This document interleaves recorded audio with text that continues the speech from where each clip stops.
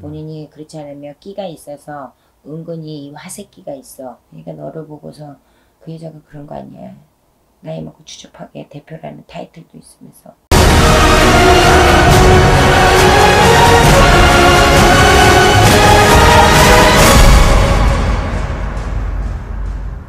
음, 안녕하세요. 안녕하세요. 음. 자 주소 대요. 저 인... 혹시 나이. 나이는 저 서... 생일은요? 구월 9월 네.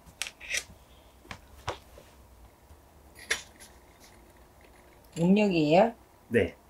우리 친구가 되게 인물도 훤하고 잘생겼는데 네. 마음도 착하고 성실한데 어? 네. 마음에 흔덩이 들어왔댄다 응?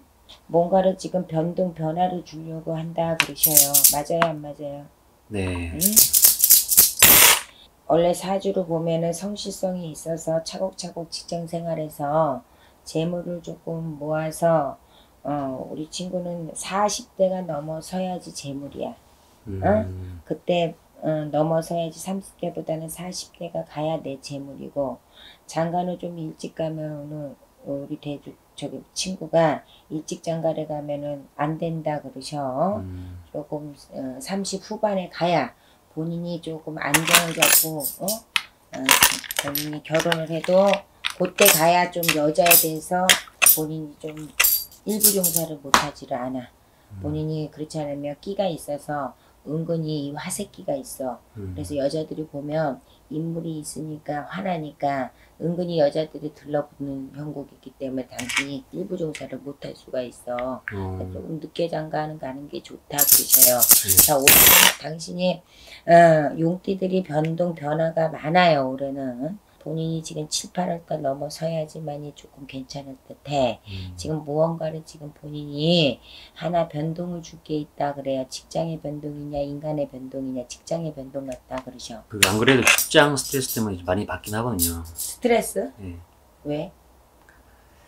아 솔직히 말씀드리면 저희 회사 대표님이 있는데 여성분이시거든요. 음. 그 성희롱 때문에 제가 하, 회사를 다닐 수가 없어요. 밤마다? 네. 왜 밤마다 본인 뭐 사기제? 아, 아니요.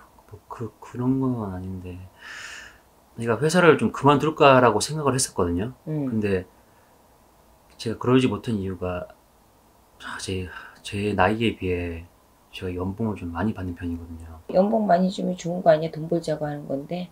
근데 뭐가 미쳐? 그 사람이 본인한테 뭐 어떻게 성희롱을 해요? 최근인데요. 음. 그 저희 회사 가면 탕비실 같은 데가 있거든요. 음. 그래서 제가 커피를 마시고 있었는데 대표님이 갑자기 제 엉덩이를 만지셨나.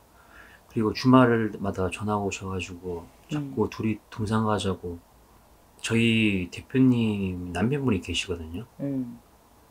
그 남편분이 심지어 또 저희 회사 영업 이사님이세요. 음. 그래서 제가 하, 그 눈치도 좀 보이고 그 여자가 우리 우리 이씨 친구를 좀 마음에 들고 남자로 보는 것 같고 좋아하는 마음이 있고 그러니까 그러는 것 같은데 어 본인이 내가 봤을 때는 그 회사에서 지금 당장에는 나오는 걸로는 안 보이고 어 여름 어, 한 7월 달 요 정도 되면 본인이 딱 마음을 결정이 내릴 것 같고 지금 본인이 거기서 못 나오는 이유는 뭐예요? 가장 큰 이유는 제 나이에 비해 좀 많이 받는 연봉? 돈 때문에 그런 거잖아. 그쵸.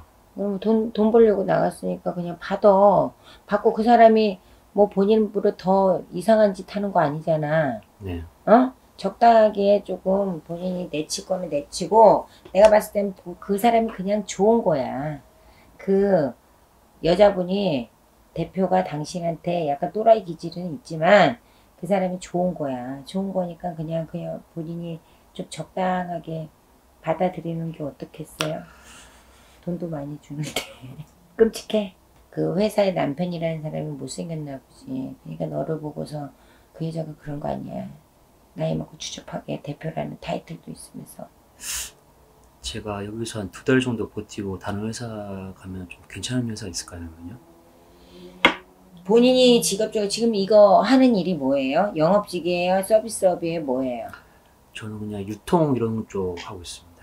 사- 영업도 좀 영업이네. 그러면 판매직도 괜찮고 본인이 서비스업도 괜찮아요. 그리고 본인이 말로 벌어먹는 직업도 괜찮아.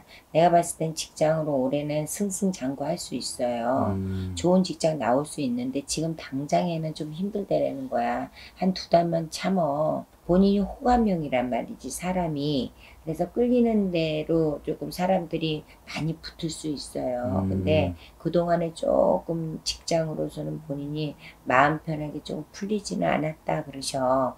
근데 다행히 이 직장에 지금 들어간 지 얼마 안 돼서 그래도 돈을 많이 주니까 본인이 지금 왔다 갔다 자- 어, 자불안성이 좀 있나 본데 그냥 그 여자 즐겨 그냥 너도 그 여자가 장난하면 적당히 쳐내면서 장난질을 하면 좀 빼고 월급 많이 주니까 월급 받아갖고 챙겨서 나와. 너 좋아서 음. 그러잖아. 같이 살자는 건 아니잖아.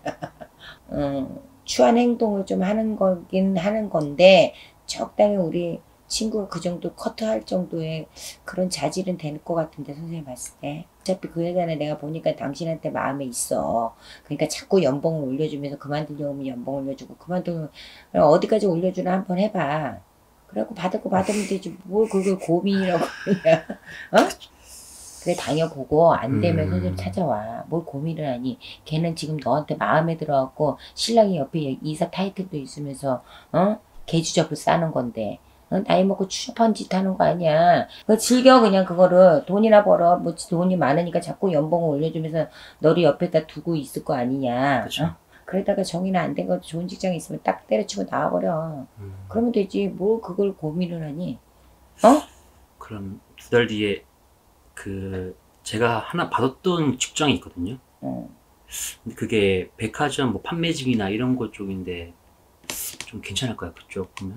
판매 아까 지금 그랬잖아 음. 할머니가 판매직도 괜찮다고 음. 네가 서비스업도 괜찮고 말로 벌어먹는 직업도 괜찮아 음. 너는 보험 영업도 괜찮다 음. 부동산도 괜찮고 너는 이 다음에 조금 요 일을 좀 더 하다가 나이 좀 더 먹으면 40줄에 가서 부동산 경매 이런 쪽으로도 음. 어? 꼭 공인중개사를 안 따더라도 요즘 많잖아 부동산 뭐 저기 분양팀이나 뭐 이런 음. 거 음, 그런 쪽으로 아, 아파트 임대 뭐 이런 분양이나 이런 쪽으로 좀 해봐봐 음. 하면 잘할 것 같은데 선생님 봤을 때 아, 정말요? 응.